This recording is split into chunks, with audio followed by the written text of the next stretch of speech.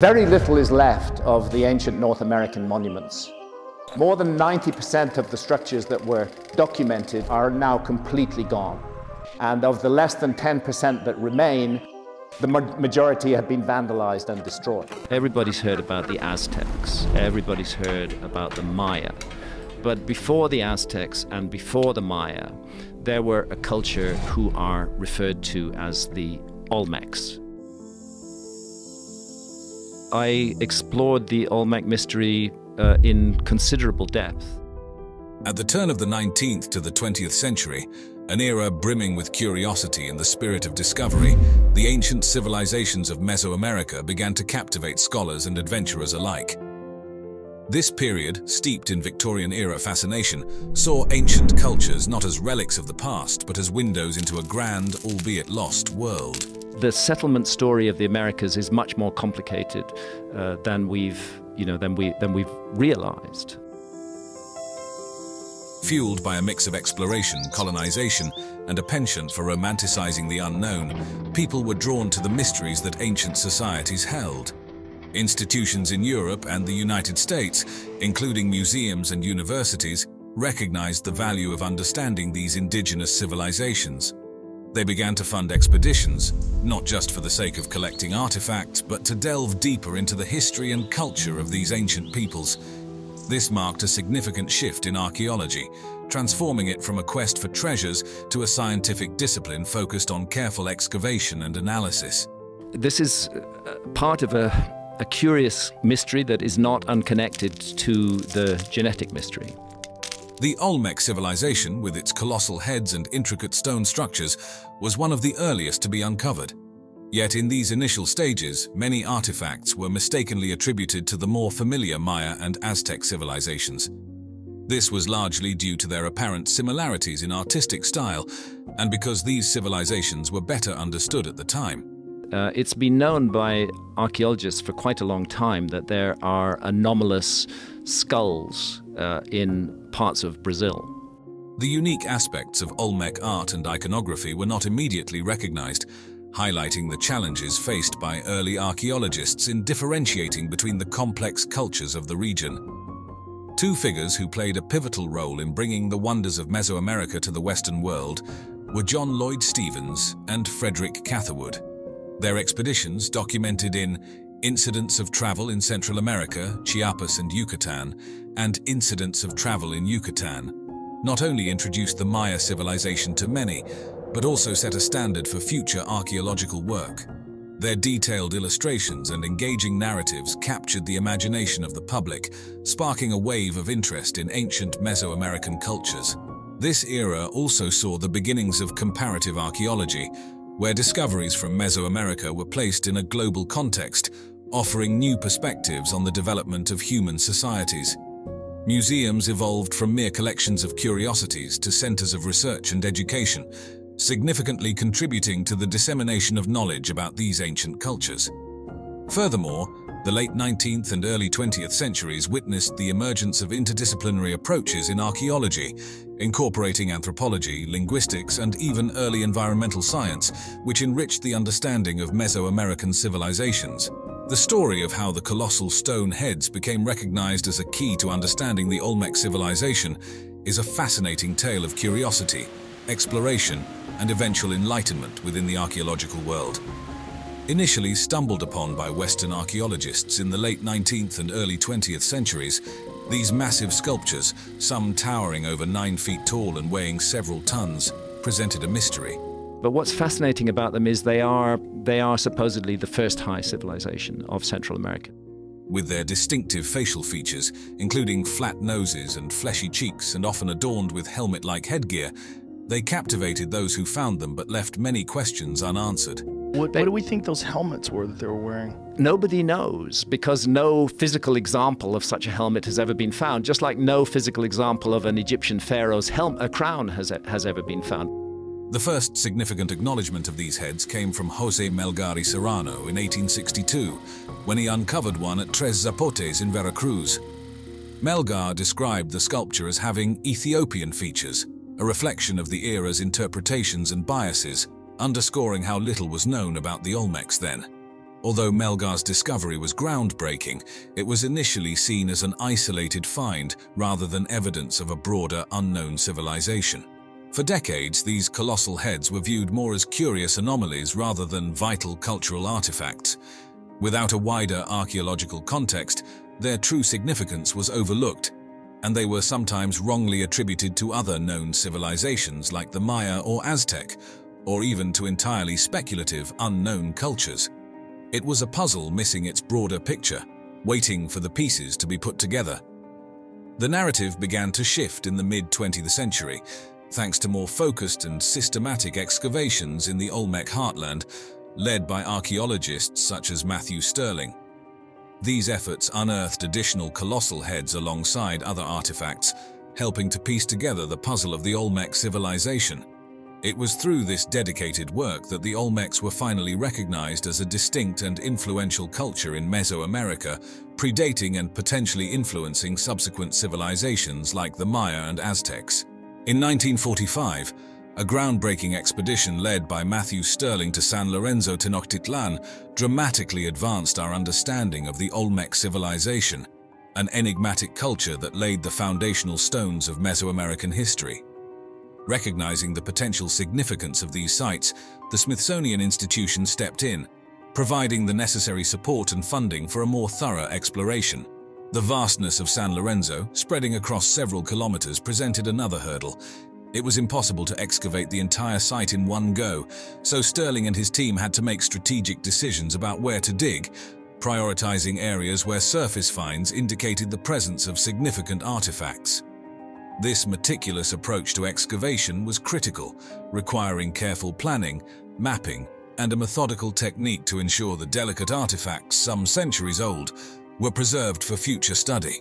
As they cleared the jungle overgrowth and dug into the ancient soil, Stirling's team was not just unearthing artifacts, they were also piecing together the story of the Olmec civilization. Every artifact, every stone, and every fragment of pottery added a new chapter to our understanding of this ancient culture. The detailed recording and documentation of their findings were essential, providing a basis for future analysis and helping to paint a fuller picture of the Olmec way of life. San Lorenzo, dating back to around 1200 to 900 BCE, stands as a monumental beacon in the study of Mesoamerican history, often celebrated as the oldest major city in the region. This ancient city predates the civilizations of the Maya and Aztecs, providing a unique glimpse into the dawn of complex societies in the Americas. Thanks to radiocarbon dating, researchers have been able to pin down the timeline of San Lorenzo, offering a clearer view of the Olmec civilization's early days.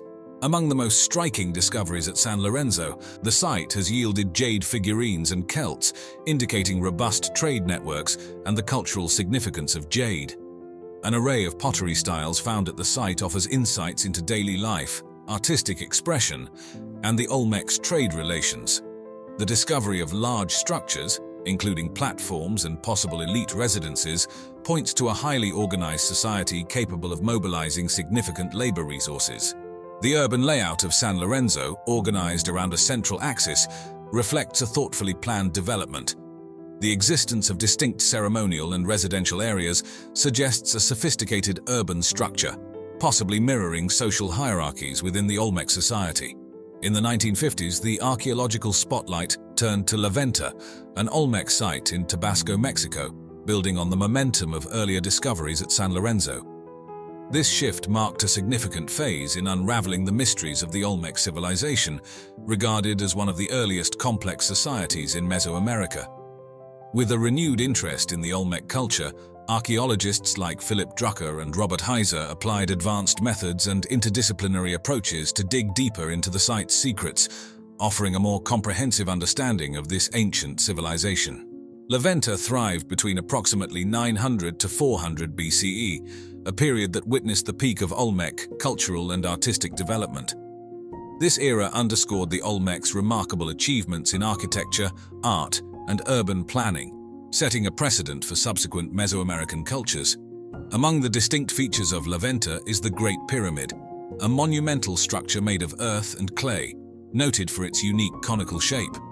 Unlike the pyramidal structures that would later dominate Mesoamerican landscapes, The Great Pyramid's design and scale highlight the Olmec's advanced engineering skills and their capacity for organizing large-scale construction projects. This pyramid, along with other structures at the site, was aligned with celestial bodies, hinting at the Olmec's sophisticated understanding of astronomy and suggesting its role as a ceremonial and cultural hub. The systematic excavation efforts at La Venta brought to light not only architectural innovations but also a wealth of artifacts, including the iconic colossal heads carved from basalt, believed to represent rulers or significant figures within Olmec society. Similarly, altars adorned with intricate carvings provided glimpses into the civilization's mythology and rituals.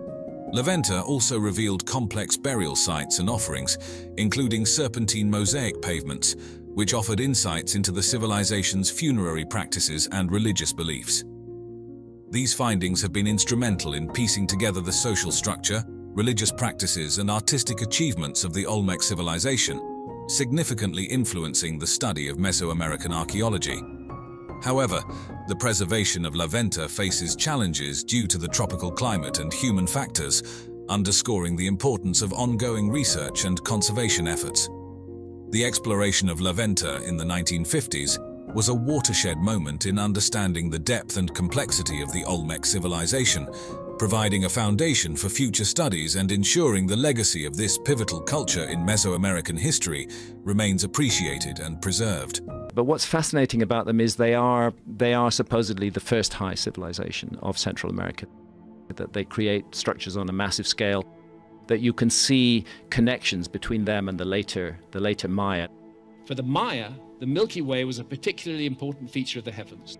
They conceived of it as the road that led to their netherworld, Xibalba. In the verdant lands of Central America, the ancient Maya civilization flourished with a mysterious brilliance that continues to captivate the world. Among the many enigmas they left behind, their profound understanding of astronomy stands as a testament to their intellectual prowess. Graham Hancock, a modern explorer of ancient mysteries, delves deep into this aspect of the Maya, proposing intriguing theories that stretch the bounds of conventional history. That whole mystery of the Mayan calendar was clearly inherited from the Olmecs. It wasn't something the Maya made up. Ah. The Olmecs used that same symbolism. So the Mayan calendar is actually an Olmec calendar. The Maya long count calendar, a marvel of ancient engineering, intricately tracked a 5,125-year cycle with astonishing precision. This calendar wasn't just a tool for marking time. It was a complex understanding of celestial cycles, intertwining the Maya's daily lives with the cosmos. Hancock suggests that this precision hints at a deeper, possibly inherited, knowledge of astronomy. Was this sophisticated understanding a legacy from a much older, now lost civilization? When one looks at the grandeur of Maya structures such as the pyramid at Chichen Itza, the brilliance of their astronomical alignment is striking. During the equinoxes, the play of light and shadow on this pyramid creates the illusion of a serpent slithering down its steps. To Hancock, these architectural marvels are not just buildings, but celestial maps, echoing an advanced understanding of the cosmos. Orion was extensively involved in Mayan rebirth beliefs, which described the constellation and specifically its three belt stars as the turtle of rebirth. In Egypt, as amongst the Maya, the stellar context involves Orion and the Milky Way. The Maya's awareness of the ecliptic, the path followed by the sun, moon, and planets across the sky, further fuels Hancock's theories. Their ability to predict solar and lunar eclipses and track the movements of Venus, which they revered as the god Kukulkan, showcases their deep astronomical knowledge. Did they learn this from an older civilization? Hancock wonders. A civilization lost in the depths of time. Hancock theorizes that the Maya might have been part of a vast network of ancient civilizations, sharing knowledge across seas and continents. This global maritime culture, as he envisages, could have been a conduit for transferring advanced astronomical and architectural knowledge to the Maya. The architectural designs of the Maya, seen in their pyramids, temples, and cities, reflect a level of technological and engineering skill that seems almost ahead of their time. Were these skills handed down from a previous, more advanced civilization? The mathematical systems of the Maya, including their use of zero, a concept rare in the ancient world, were integral to their astronomical calculations. Hancock proposes that this mathematical sophistication, too, might be a legacy from a forgotten civilization. We're not what it's all about at all. Uh, that there may have been an earlier civilization that reached a high level of advancement, perhaps different from ours, but nevertheless an advanced civilization, which was just taken out of the story completely by a global cataclysm. In a tale woven from the threads of ancient mysteries, Graham Hancock, a modern day seeker of lost truths, presents a fascinating theory. He imagines a world where an advanced civilization, predating the ancient cultures known to history, once thrived. This civilization, possibly flourishing before the last ice age ended around 10,000 BCE, was a beacon of knowledge in fields like astronomy, architecture, and mathematics. Hancock's story tells of a society whose influence stretched far beyond its own time and space, touching various corners of the ancient world, including the enigmatic Maya civilization. I think, and it's my case, that it wiped our memory of a previous episode of, of human civilization, that right at the epicenter of this cataclysm was a civilization that we would regard as advanced, not a simple hunter gatherer civilization, which was utterly wiped out uh, in this cataclysmic event. However, this ancient global society in Hancock's story faced a dramatic and catastrophic end.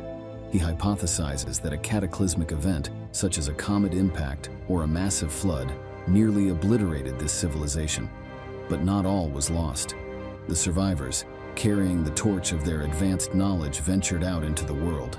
These bearers of ancient wisdom found their way to other, less advanced societies and shared their knowledge, planting the seeds for new civilizations to grow. Among these were the Maya, who, in Hancock's view, may have been one of the many inheritors of this ancient legacy.